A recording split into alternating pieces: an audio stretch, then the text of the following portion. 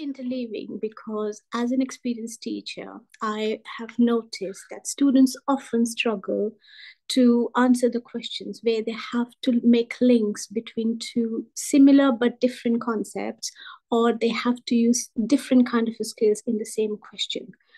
For example, a typical GCSE question may involve a student to use calculations of an electric current and use that to work out specific heat capacity or use the concepts of um, moments of a force to calculate magnetic flux density. So I noticed that students were really finding it hard to how to go from one concept to another. And that's why I tried to embed interleaving in my lessons more with interleaving, it helps the students to practice and build fluency in how we can link the similar but discrete turning tasks together and then so they can retrieve the information and apply that information effectively when it's required.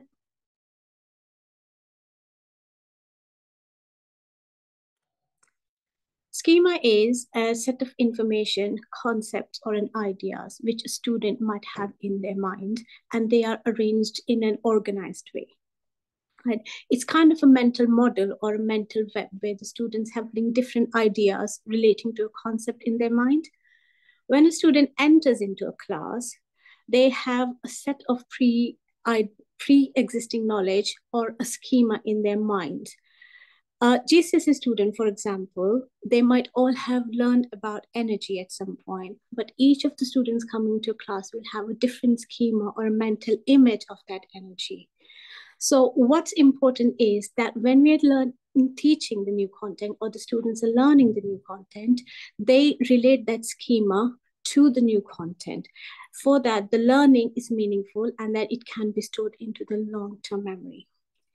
I've noticed that some students who are experts, they demonstrate a very well schema so that they can apply and connect the new learning to their original schema correctly or quickly.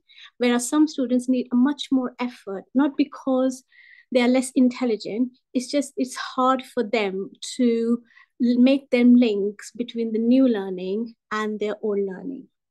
So what the key here is for us to know that we should be able to tell or interpret what students already know. So it's essential that we know the students, what the prior knowledge of the students is, so we can build upon their more advanced schemas. And then from there, we can interpret what we need to do further in order to help them better learners.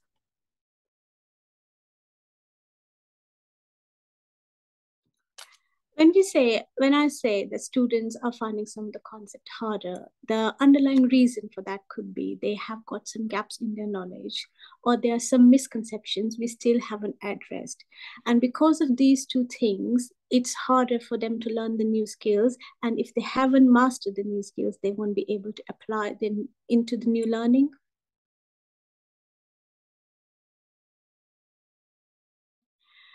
So the students who do find this harder, some of the concept bit harder, we might use a range of techniques to know where the misconceptions and where the gaps in the knowledge are. Uh, typical strategies which I use are maybe using diagnostic questions in the lesson, using some of the hinge questions, uh, quick multiple choice or mini quizzes, and maybe we can use some of the data which from the prior assessments or something. Yeah.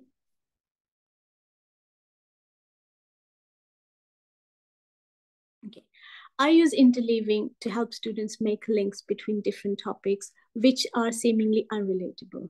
So how we practice interleaving is I train them to use, identify or use the question to identify what's the starting point of the question is and what is the end point, and then use the information within the question to answer or get to the from beginning to the end point.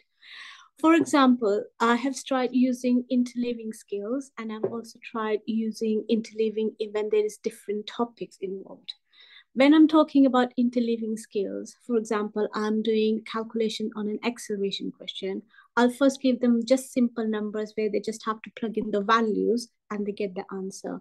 Building upon that, they will then start to read a short passage where they have to extract the information and then use the equation and then then i build it on to where they have to read the question they have to rearrange the equations or then they have to then even do unit conversions to get the final answer in the same way, we can have interleaving in different concepts. So one of the examples I use is where there was a satellite motion, which was then linked to induced potential question. So I will train my student to identify what the question is looking for, what's the starting point is, which is your satellite motion, how the satellite is moving. The endpoint is that we need to go up to induced potential and then use the information in the question in the middle to get up to the endpoint. The benefit for that one is the more we repeatedly introduce this technique to the students with practice, they get used to or they refine their ability to make links between the topic and they can to decide with themselves what is the best approach to answer the question.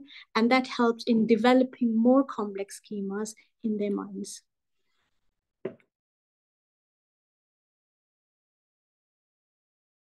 Mm, thinking about my reflections, what I say is the whole schemas and interleaving and the study and the practice around it is based upon the prior knowledge of the students.